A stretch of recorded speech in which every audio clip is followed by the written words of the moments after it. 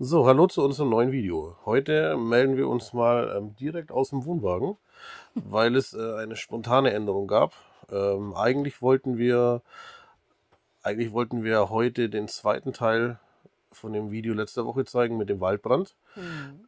Nachdem aber jetzt Ostern ist und wir gestern Abend am Karfreitag hier im, im Dorf in äh? Alcala de Civer. Genau, in Alcala de Civer. Ähm, die Möglichkeit hatten, das ist immer hier, also Ostern, vor allem der Karfreitag muss in Spanien wohl ein ganz, ganz besonderer Feiertag sein. Ähm, wohl angeblich einer der höchsten Feiertage, hat, haben wir uns sagen lassen hier in Spanien. Und ähm, da soll es immer ganz schöne Aufführungen geben und so weiter. Die sollen das ganz ähm, traditionell, christlich und so weiter auch feiern. Ähm, vor allem auch den Karfreitag. Mhm. Und ähm, dort hatten wir eben die Möglichkeit gestern hier im, im Dorf äh, Alcalá de Civer ähm, auch mit zuzuschauen, wie die Spanier das so feiern. Und ähm, es war sehr interessant. Wir haben ein bisschen was aufgeführt. Wir wollten ursprünglich wollten wir es äh, als kompletten Beitrag nehmen, bloß diese Aufführung, das ging zwei Stunden. Ja. Ähm, wir wollen euch jetzt hier nicht zwei Stunden lang mit äh, äh, Ostern oder christlichen Sachen oder sonst irgendwas hier ähm, belagern. Äh, wir sind selber so nicht so die Menschen, die wo da so krass dahinter sind. Ähm, aber es war wirklich schön anzuschauen, es war interessant Ja, anzuschauen. interessant. Wir haben gesagt, wir bringen einen Beitrag drüber, ob den einen oder anderen mag vielleicht interessieren, wie machen das die Spanier. Es war wirklich cool gemacht. Ähm, wir werden nur ein paar Schnipsel draus bringen, also ein paar Ausschnitte draus bringen, dass man sowas sieht. Ähm, sollte jemand hier Spanisch verstehen und ich schneide jetzt irgendwas an einer ganz besonderen Stelle, nehmt mir das nicht übel. Ich möchte da niemanden äh, jetzt irgendwie angreifen oder sowas. Ich verstehe es halt einfach nur mal nicht vollkommen. Ich verstehe die, das Spanisch nicht komplett und wenn ich jetzt hier einen Schnitt mache an einer Stelle, die wo christlich einfach völlig unmoralisch ist oder einfach äh, völlig aus dem Kontext raus überhaupt nicht zusammenpasst, äh, verzeiht mir, aber ich verstehe die Sprache nicht ganz und ich kann einfach nicht nach einer fremden Sprache da jetzt äh, schneiden oder vor allem mich jetzt noch hinsetzen und alles zu übersetzen. Ähm, wir haben ein bisschen was, also Yvonne hat ein bisschen was auch rausgefunden über, über die Art, wie die feiern. Oder wie auch immer, du kannst ja was dazu sagen. Ähm, ja, also ich kann äh, das gestern, diese Aufführung, ähm, die wir uns angesehen haben, heißt äh, Paseo per la Trenza. Ähm, wird in Alcalá de Civer wohl schon seit 2014 immer wieder am Karfreitag aufgeführt. Und ähm, es erzählt im Endeffekt die äh, Geschichte der Leidenschaft, Kreuzigung, des Todes und der Auferstehung Jesu Christi. Wie man es ähm, ja aus dem Katholismus ja schon kennt. Ne? Al- Das, ähm, das Ganze wird am Kirchplatz von der Kirche San Juan Bautista ähm, gemacht in Alcalá de Civer und ist, finde ich persönlich, ähm, äh, ein, ein tolle hm, Bühne, will ich jetzt gar nicht sagen. Na, es war ne? schön aufgebaut. Es war direkt vor der Kirche auf diesem, auf diesem Platz. Es war schön aufgebaut über mehrere Etappen. Also es waren Ja, ja, wie gesagt, Bühne kann man nicht sagen, aber es war wie eine Art Bühne. Es war aber im Endeffekt, es waren vier Bühnen aufgebaut und dann noch der Weg mitgenutzt und so weiter. Es war auch, also ich würde mal sagen, dass da so, so, ich würde grob geschätzt sagen, 80 Prozent vom Dorf anwesend war. Das war schön aufgestuhlt. Ähm, die sind da alle schön eingedrudelt, haben sich da hingesetzt, haben sich das angeschaut. Und es war auch richtig, ähm, es war wirklich cool gemacht. Also muss man wirklich sagen. Es Ja. war sehr cool gemacht. ja. Ähm, mit den ganzen Lichtern und so weiter. Auch alles war sehr, sehr cool gemacht. Ähm, wir hatten, ähm, wir hatten nicht gewusst, dass es A so lange geht und ähm, B auch so viel Aufwand und so weiter ist. Ich hatte, ähm, ich hatte die, die, die, die Kamera dabei, ich hatte die Canon ähm, dabei und hatte kein Stativ, nichts dabei. Also entschuldigt mir auch vor Wackler. Ich habe hier äh, fast zwei Stunden aus der Hand raus ähm, das Ding gefilmt gestern. Ja. Hätte ich gewusst, dass das so lange geht und ich wirklich ähm, mehr oder weniger grob feste, feste Perspektiven habe, dann hätte ich ein Stativ oder sowas mitgenommen. Aber ähm, uns wurde anfangs wurde uns ähm, eher gesagt, dass das Ganze wie so ein Umzug ist. Und da dachte ich, okay, dann reicht die Kamera, dann bist du flexibel, brauchst du kein Stativ, brauchst du nichts und so weiter. Ähm, kannst du dich ein bisschen bewegen, alles wunderbar, war dem wohl doch nicht so. Aber gut, ähm, wie gesagt, wir blenden eh noch ein paar Schnipsel ein. Ich versuche die gröbsten Verwackler einfach äh, nicht mit reinzunehmen, außer die sind genau in den wichtigsten Momenten. Hm. Gut, was gibt's denn sonst noch? Tja, was gibt's sonst noch? Ähm, die Veranstaltung ist kostenlos. Genau, kostenlos alles. Ja. Kostenlos, geht über zwei Stunden. War also wirklich, ich fand auch die, die Lichteffekte und die Musik, die dazu war, ähm, war super passend. Also es war Ja. ähm, das bisschen, was, was wir von der Kirche, glaube ich, von früher einfach kennen, die Geschichte zum Karfreitag, ähm, Ja, das war ganz was anderes. Das war, das war aufgebaut wie war so ein, ein bisschen wie so ein Abenteuerfilm, so, so, so ein bisschen, so die Musik muss, muss ab und zu so ein bisschen, hatte ich so ein bisschen an, an Indiana Jones mäßig denken müssen, sowas in der Richtung. Also mit viel Spannung auch aufgebaut, schöne Lichteffekte. Also ich denke, ähm, da könnte sich vielleicht auch die, die Kirche hier in Deutschland mal was abschneiden und ähm, könnte das vielleicht hier gerade den, den Kids und der Jugend damit so ein bisschen interessanter machen und so ein bisschen näher bringen ja. ähm, weil das wirklich cool aufgebaut war. Wirklich cool gemacht und wir denken, es lohnt sich, das mal anzuschauen. Und ähm, wir hoffen, ihr verzeiht uns, dass wir dieses Mal dann eben jetzt nicht den versprochenen Teil 2 mit dem Waldbrand machen, sondern jetzt äh, diese, diese Karfreitagsaufführung ähm, von, dem, von dem spanischen Osterfest hier. Und äh, den Teil 2, den versprochenen Teil 2 mit dem Waldbrand gibt es dann nächste Woche am Sonntag. Und äh, darauf könnt ihr euch schon drauf freuen. Und äh, der ist nämlich auch ganz cool geworden. Und ja, in dem Sinn.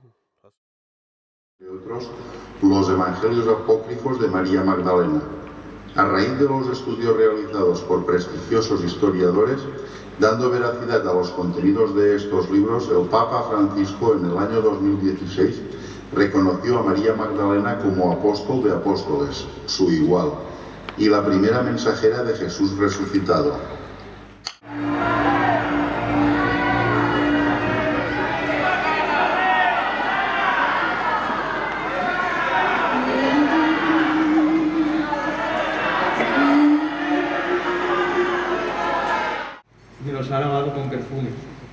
Y después me los ha secado con sus cabellos. Está mostrando un arrepentimiento sincero. La vida que ha llevado ha sido por necesidad, para poder subsistir a los numerosos tropiezos que le ha deparado la vida. Por eso, sus pecados, sus numerosos pecados, le quedan perdonados.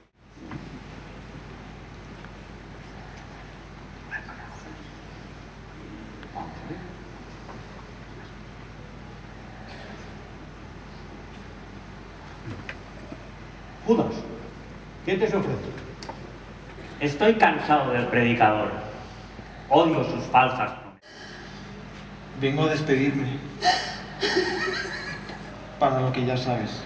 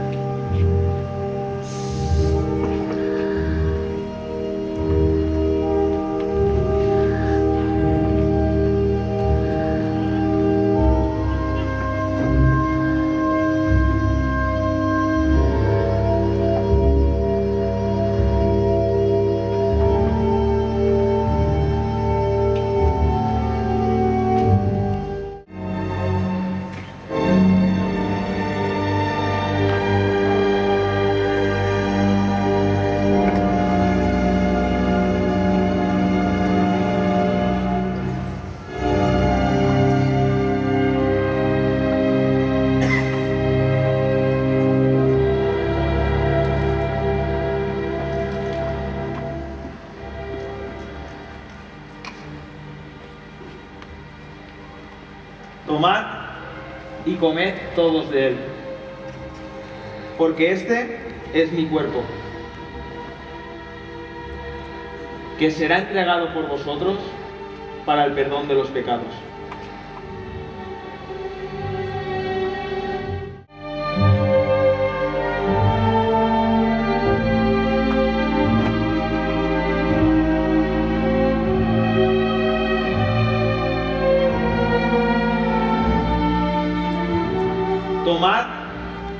Todos de él, porque esta es mi sangre, sangre de la nueva alianza, derramada por vosotros para el perdón de los pecados.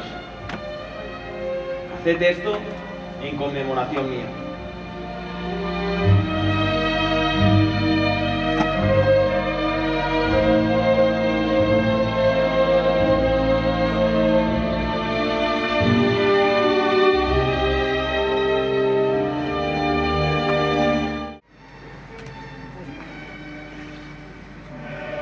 ¿A quién buscáis? A Jesús de Nazaret.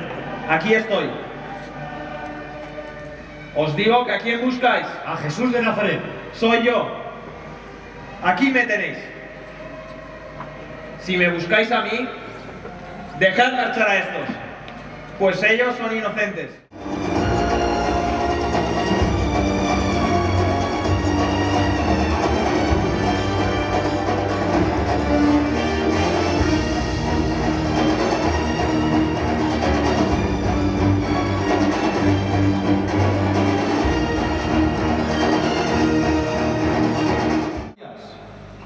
Azotadle. Noch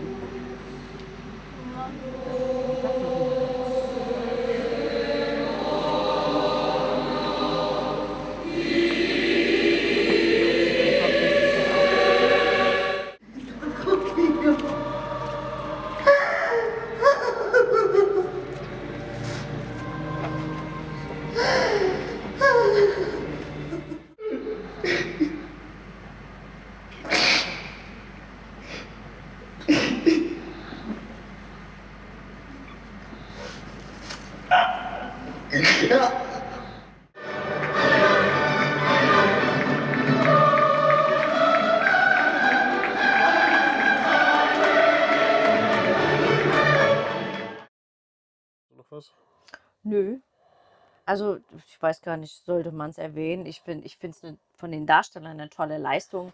Es war sehr viel Ja, Text Das auf jeden und Fall, ja. ähm, das, Gut, wir wissen ja nicht, ob wir sie wissen nicht, ob sie es richtig gesprochen haben oder nicht. Ähm, aber war echt toll. War, war cool ähm, gemacht. war echt, äh, War sehr cool gemacht. ja, wir sind ganz froh, dass wir dabei sein durften. Genau. Und in dem Sinn ähm, würden wir sagen, wir wünschen euch noch ähm, einen schönen Ostersonntag, einen schönen Feiertag am, am Montag, Ostermontag. Ähm, wir hoffen, ihr habt jetzt langsam auch ein bisschen besseres Wetter in Deutschland. Äh, wir sind jetzt auch schon eine Woche noch, dann sind wir schon wieder auf dem Rückweg. Ähm, ganz viele Arbeitstermine stehen in Deutschland wieder an, ganz viel zu tun ist in Deutschland wieder, ähm, beruflich, ähm, privat auch ein bisschen was zu tun. Und äh, es wird aber trotzdem spannend und äh, es wird ganz viel dieses Jahr auch noch passieren. Wir haben ganz viel dieses Jahr geplant Ja. und äh, hoffen, dass auch die Pläne so ein bisschen in Erfüllung gehen, äh, beziehungsweise in Erfüllung gehen, dass die Pläne halt auch funktionieren, dass da nicht irgendwie, äh, wir haben ja gesehen, wie schnell es passieren kann, wie schnell Pläne zerstört wurden durch Ja. Pandemie und so weiter. Also wir denken an nichts Schlimmes. Ähm, wir hoffen, dass unsere Pläne alle in Erfüllung gehen. Dann haben wir dieses Jahr noch sehr, sehr viel coole Sachen. Und wie gesagt, in dem Sinn, euch allen frohe Ostern, genießt es, äh, bleibt gesund und wir sehen uns, gleich, wir sehen uns nächsten Sonntag. Ja. Ja. Ja. Bis Wir sehen dann. uns nächsten Sonntag. Ciao. Tschüss.